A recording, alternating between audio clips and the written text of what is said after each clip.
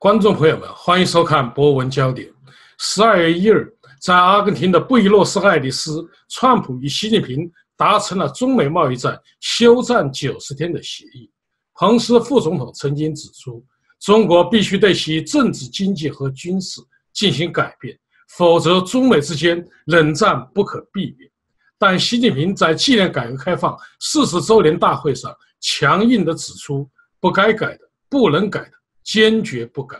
中美贸易战能够结束吗？川普与彭斯的观点有什么不同？什么是中美之间的冷战？就此话题，我们连线专访悉尼科技大学冯崇义教授。下面有请冯教授。冯教授，川普与习近平呢，在阿根廷达成了贸易战休战九十天的协议。您认为中美谈判能够成功吗？您又如何看待川普总统？与彭斯副总统的价值取向。第一个问题呢，就是想，因为啊，彭斯跟跟呃，川普还还还不一样，因为呃，川普是把自己定位成经济民主主义者，而且他也是从从做商人出来的，啊，他的着眼点，如果如果不是说。主抓一点不及其宜的话，但是它早引点是在经济上，美国重新伟大，就是要把这个呃中美国的制造业，把美国的经济重新振作起来。从这点上讲，它这个贸易战，或者关税战，是变成它的啊手段。同时，在关川普那里，这个经济本身就是目的。只要我把经济上做好了，这个把股市做上去了，把这个这个中国人把美国人的就业呃搞起来了，他就大事告成了。所以他的目标是相对简单的目标，就是就是就是相对而言，他是集中在经济方面的目标。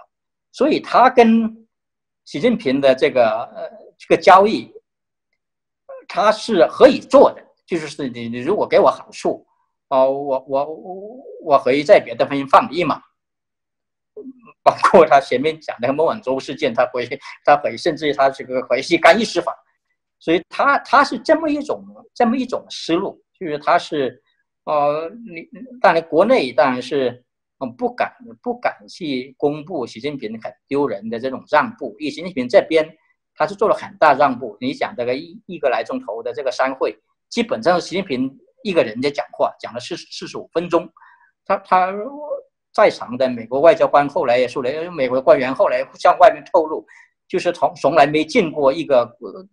国家的一号领导人来一条一条的具体去认的认从认一认认那些经济条文，你这事情是一个秘书班子做的事，因为这国家领导人只是最后你谈妥了，我来我来挥挥手，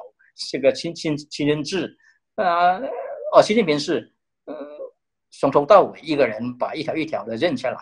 然后做这种对香酸是对对酸普表示表表表示输诚，这点上他是用讲这个方法是可以打动酸普，但是但是彭斯不一样，彭彭斯他是代表整个美国整个啊官僚体系或者政府体系，或者整个这个啊国务院，或者是我们讲他的他的这些公务员系统。或整个政治精英们对中国的一个看法，就是中国社会、中国这个政权对美国的威胁和挑战，不只是在经济方面，而是全面的。比他现在是真正争论的是这个世界上核数据的问题，是一个以专制政权统治来。激发经济发展，还是以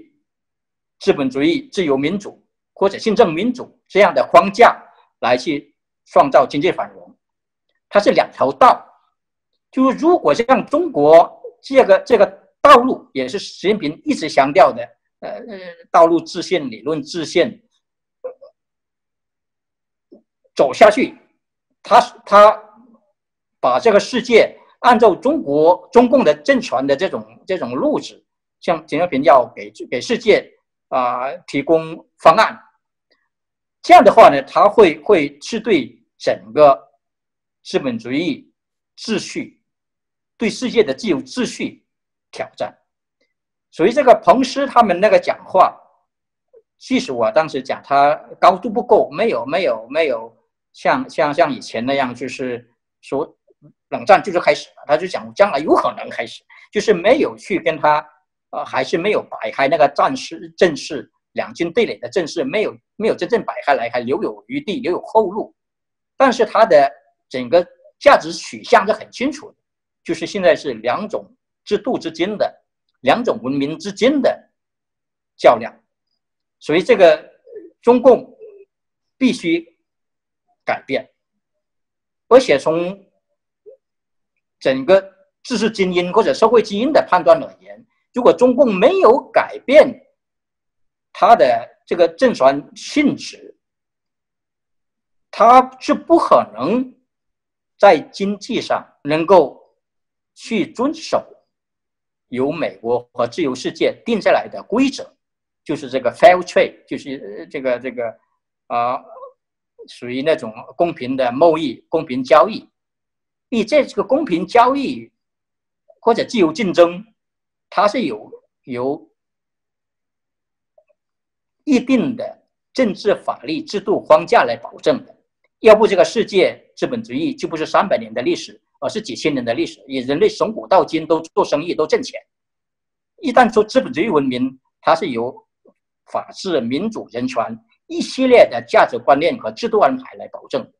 如果你没有背后的这些这个啊普世价值、人权理念、法治、宪政、民主的制度安排，它是。保证不了经济上的自由竞争和公公平贸易，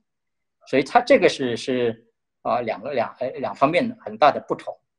彭斯副总统说：“如果中国不对它的政治、经济和军事进行全面改变，中美之间将爆发冷战。”您如何看待彭斯副总统所指的中美冷战？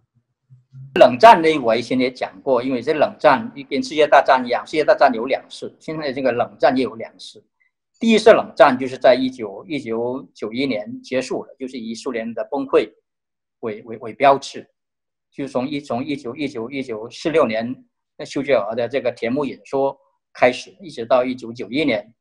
第一次冷战就是两军对垒的这个这个冷战结束。可是，在那之后。就转变成了第二次冷战，就是一一些因为当时的共产主义阵营崩溃的时候，还还由这个后遗症留下来，因为还有四五个共产国家残余下来了。那么他们啊，邓小平哪怕说韬光养晦，不直接的挑战啊美国和西方这个自由世界，但是他这个这个挑战就从明的变成暗，改变整个世界秩序。巩固共产暴政、共产专制政权这个大政方针，它并没有改变，所以这个就是共产集权和自由民主制度之间的这个对垒，或者党国社会主义与资本主义之间的这个对对垒，并没有结束，而这个对垒本身就是冷战的内容。冷战就是它互相之间。并没有去拿刀拿枪来来来来直接在战场上厮杀，而是转移到其他阵线，就是有有你们叫政治斗争、意识形态斗争、呃经济上的竞争。那么第二次冷战现在的关键的战场是转变成经济上的竞争。那第一次冷战当然也有，第一次冷战以后，你要知道这个。共产党他们争取到一个和平共处四项原则，就是五项原则。赫鲁晓夫也好，当时的毛也好，他们这一定是那么承认的。这个这个这个里头，他有较劲的，在经济上较劲，看谁能够把经济搞上去。毛搞那个大跃进，这个这个斯大林他们就是赫鲁晓夫他们搞的，呃，好多大的方案，其实也是在今天做。但是当时他更关键的是说，两个阵营不做经济贸易，啊，互相之间是呃相互封闭的，第二次冷战呢，它这个这个它是一个缠斗，就是中共已经转到资本主义阵营了。一一九九二年邓小平的南巡，其实他已经按照按照刘源的话讲是卷席不投降，就是把共产主义这个经济国家社会这个席给卷起来了。然后就是呃换了一个说法，就是社会主义市场经济，其实它是是是呃全面的啊引入这个市场机制，但是同时又维护共产党领导，就是变成一个啊一个一个一个杂交，就是由资本主义和共产主义杂交，杂交出中国现在这么一个怪物出来。那么这个这个里头呢，因为我刚才讲过，因为它一旦放权让利，呃，它就会激发中国民间的创造力，中国这个经济就借这个机会，呃，很快的发展起来了。就跟因为当然当时是刚才提到，就借助了全球化的力量，这个国际上的这个资金、资金、技术，都把中国当成一个洼地市场洼地，啊，是人类历史上最大的一次资金技术的大转移。就是在在把把把中国的这个发展的速度很快，呃，我们都知道现在是几十年在讲中国变成世界工厂，就是个制造业都搬到中国去，所以这个是一个一个这几十年真正在经济领域啊出现的问题，啊是这个发生的情况，啊变化呢，因为我们都都叫叫叫呃跛脚改改革，就是中国本身它。维持一党专政的这个政治框架，然后就带过来，就在国内就是整个结构性的腐败、生态底盘破裂，整个这个呃资资源枯竭，呃，整个这个社会极度的不公，缺失公平正义，啊，两极分化，诸如此类的问题。就是我讲这个这个习近平那个习近平刚才那个报告无耻，就是他他根本没有反省能力，也没有反思的呃精神来去面对这些问题，所以这样的话呢，他就在创造出一个以共产暴政与和市场经济相杂交的一个新的发展模式出来，来挑战世界。所以现现在现在的现在的冷战就变成主要是在经济领域里头交手。就较量，冷战不是说将会开始。其实我的概念是，这个冷战一直在进行。如果说以前在一定程度上就是中国单方面的战争，他在在用那种方式来去挑战这个自由民主秩序，那么现在啊，西方的一些有识之之士看到了中国这个邪恶目的，或者他的这个这个。整个本质，我想随着他们原来的这个啊 engagement，就是原来的接触政策，因为这个接触政策在国内有时候讲的很别扭，什么都接触，因为这个接触政策它是有历史渊源，就是八九之后啊，东西方西方对中国进行禁运，就不跟中国正常接触，所以后来是到克林顿时期，就是把这个人权和贸易啊扯开了，就是让中共赢了。赢了一局，就是这个这个，把两个解扣，把两把把这人权问题和贸易问题分开，就是这个这个布什时代的那个 engagement 就变成后来的交好。所以我说这个 engagement 如果按照中国语言的本意来去翻译，应该变成交好，而不是结束，就是因为这个 engagement。那么现在这个几十年，在西方很多人已经意识到它失败了。就是原来说说给中国加入 WTO，加入这个这个世界大循环，它会变得更加自由民主、更加开放。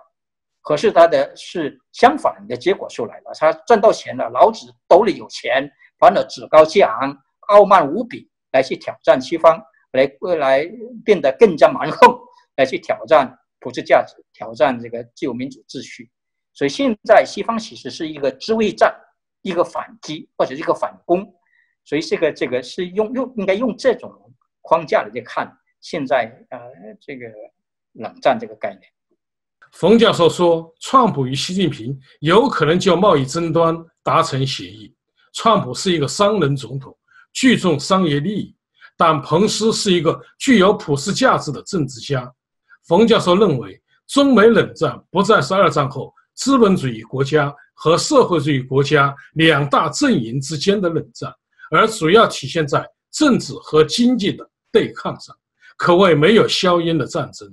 我们可以说，中美冷战是二战后冷战的延续，或者说，中国与西方文明世界的冷战从未结束。